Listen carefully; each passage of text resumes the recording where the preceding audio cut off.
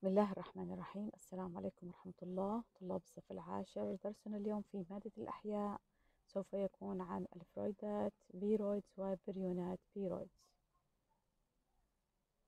الفيرويدات أو ال viroids هو أحد أشباه الفيروسات. غير محاط بغلاف ويتكون من حمض نووي من نوع RNA فقط ويسبب الأمراض لبعض النباتات. إذا هذا المرض يصيب فقط النباتات. ولا ينتقل إلى الإنسان والحيوان لحد لغاية الآن من مكتشف الفيرويدات؟ مكتشفه هو العالم الأمريكي ثيودور دينر عام 1971 وكانت سببا لمرض الدرن المغزلي في البطاطا إذا أول مكتشف لهذا المرض هو العالم الأمريكي ثيودور دينر وحدث هذا الاكتشاف عام 1971 شاهدوا في نباتات البطاطا كما نلاحظ في الصورة. إذا أعطاها شكل مختلف عن الشكل الطبيعي. قد تصيب هذه الفيرويدات بعض أنواع المحاصيل الزراعية. إذا ليس فقط البطاطا قد تصيب محاصيل أخرى مثل عندنا الحمضيات البندورة الخيار والتفاح. كيف تصيب الفيرويدات النباتات؟ تصيبها من خلال توجيه الخلية إلى إنتاج مزيد من الفيرويدات مستعملة أنزيمات الخلية. إذا هي كجسيمات ليس لديها أي إمكانية لكي تتكاثر وتنمو لكنها تستخدم أنزيمات الخلية وعضيات الخلية لكي تكاثر نفسها من الفيرويدات ما هو مقدار خطورة الإصابة؟ تتفاوت درجة خطورة الإصابة تبعا لنوع الفيرويد. إذا حسب نوع الفيرويد تكون الإصابة في النبات. مثال على ذلك كيف أثرت الفيرويدات في محصول جوز الهند في شرق آسيا؟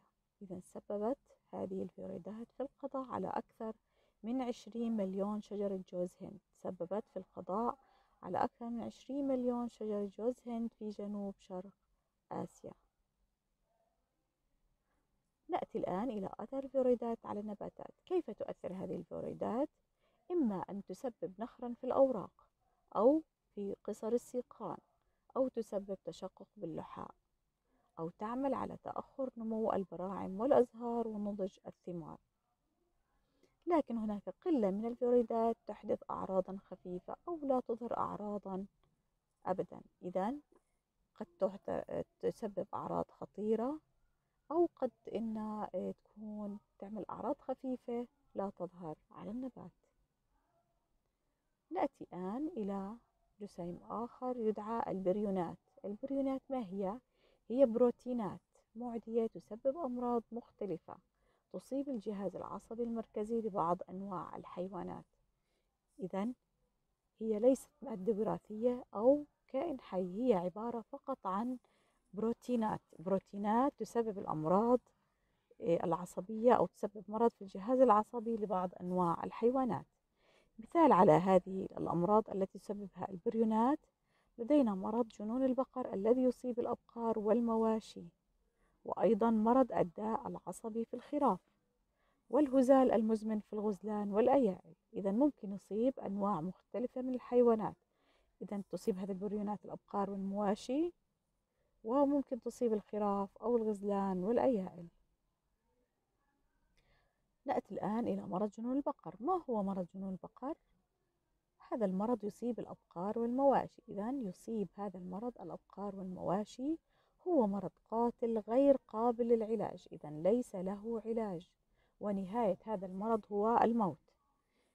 أين يصيب هذا المرض؟ يصيب الجهاز العصبي المركزي وهو الدماغ. إذا يصيب الجهاز العصبي المركزي الدماغ ويسبب تلف في أجزاء من المخ فيصبح إسفنجي القوام. يؤدي ذلك إلى تغير سلوك الحيوانات ويسبب الموت في النهاية. إذا يؤدي إلى تغير سلوكها وفي النهاية يؤدي إلى موت الحيوان. لدينا سؤال علل تظهر في أدمغة الحيوانات المصابة بأمراض سببها البريونات تجاويف صغيرة متعددة؟ إذا عندما شرحوا أدمغة هذه الحيوانات المصابة وجدوا أن في أدمغة تجاويف. ما سبب وجود هذه التجاويف؟ سببها موت الخلايا العصبية مما يمنح الدماغ مظهرا إسفنجيا. هذا المرض الذي يسمى جنون البقر عندما يصيب الإنسان يدعى بمرض كروتسفيلد جاكوب. إذا عندما يصيب الإنسان يسمى هذا المرض كروتسفيلد جاكوب. كروتسفيلد جاكوب تسبب البريونات باعتلالات في دماغ الإنسان مسببة مرض كروتسفيلد جاكوب. إذا إذا أصابت هذه البريونات دماغ الإنسان فيسمى هذا المرض بكروتسفيلد جاكوب.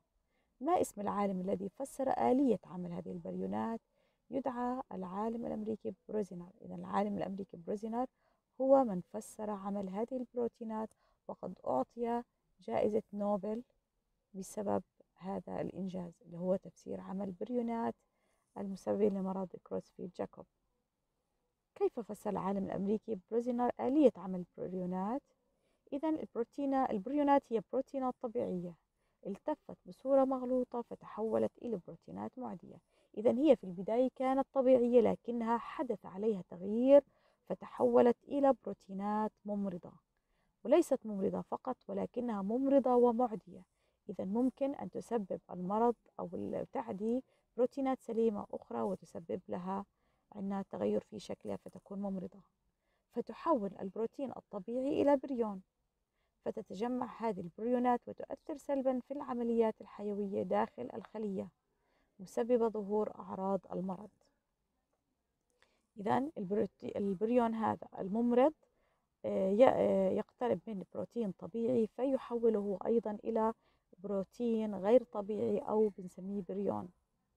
وهذه البريونات عندما تتجمع في الدماغ تسبب عنا أمراض مختلفة تسبب أمراض مختلفة وأعراض مختلفة منها تبدأ بالاكتئاب ثم بعد ذلك تتطور إلى آه، عدم السيطرة على الجهاز العصبي عند الشخص آه، عدم السيطرة على حركاته آه، نسيان يصبح الشخص ينسى ثم يتطور إلى أن يحدث فشل في الجهاز التنفسي أو فشل في القلب أو أي عضو.